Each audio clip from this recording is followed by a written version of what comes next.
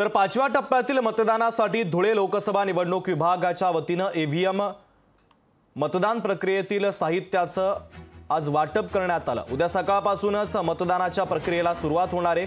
धुळ्यातील ही दृश्य आपण पाहतोय. पाचव्या टप्प्यातील मतदान पार पडतंय. आणि त्यामुळे आता ईव्हीएम आणि इतर मतदानाच्या साहित्याचं वाटप करण्यात आलेलं आहे.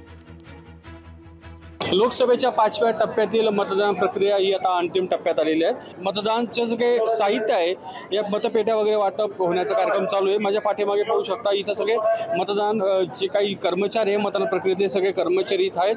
उद्या सकाळपासून सहा वाजेपासून मतदान प्रक्रियेला सुरुवात होणार आहे. साधारण पाहायला गेलं तर सायंकाळी पाच ते सहा वाजेपर्यंत ही मतदान प्रक्रिया संपणार आहे. चार जूनला एकंदरीत हा सगळा धुळे लोकसभेचा असेल किंवा पाचव्या टप्प्यातील मतदान प्रक्रियेचा जो काही निकाल आहे स्पष्ट होणार आहे.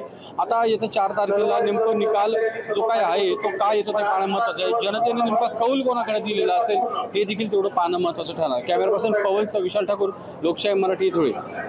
तर धुळ्यामध्ये आता मतदान यंत्रणेच्या वतीनं आता साहित्याचं वाटप करण्यात आलेलं आहे. धुळ्यामध्ये मतदानाची जोरदार तयारी सुरू झाल्याचं पाहायला मिळत आहे.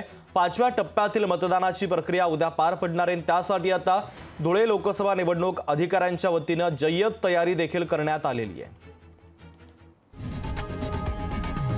लोकशाही मराठी.